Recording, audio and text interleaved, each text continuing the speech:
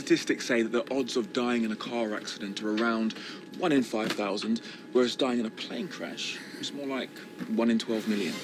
Cuatro personajes que se tornan estrambóticos. Solo les une su miedo a volar y que se han apuntado a un curso para superarlo. Say hello, fearless flyers. Good life. Una promotora inmobiliaria que miente a su familia para no desvelar su pánico. The statistics clearly show you've got far greater odds of winning the lottery than of dying of being in a plane incident. un veterano militar reconvertido a escritor de novelas policíacas y obsesionado con posibles complots.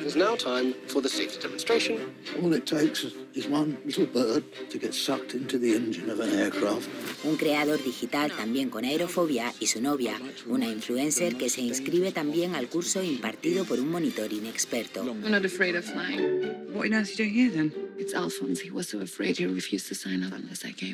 El islandés Hastein Gunnar Sigurdsson, autor de la comedia sangrienta y mordaz Buenos Vecinos, regresa con otra disparatada, surrealista y algo escatológica. No!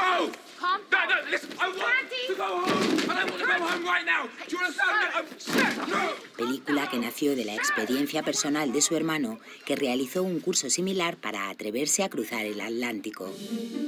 This is the most important exercise. It's not the destination, but the flight that matters. Have booked us on a flight to Iceland. Exotic, right? That lump of volcanic rock in the North Atlantic. La primera clase práctica del grupo consiste en un vuelo desde Londres a Islandia. Once we reach the destination, we'll wait there for a couple of hours, and then we'll pop back in. Se convertirá en una experiencia fatal con escenas de terror dentro y fuera del avión. El equipo acabará en un balneario aislado por el temporal en la nieve, en el que sucederán situaciones absurdas y rocambolescas. Survived the most terrifying flight of my life. Our flight has been delayed nine hours. Cargada de humor negro, coquetea con la sátira de unos personajes excéntricos y deriva en el absurdo.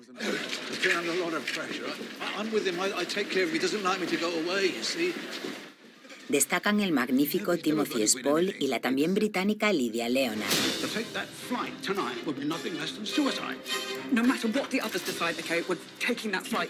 Mayday Club se suma a las películas sobre aviones, algunas insuperables como la mítica Aterriza como puedas. Y es que los vuelos dan mucho juego para historias de pavor y comedias desternillantes.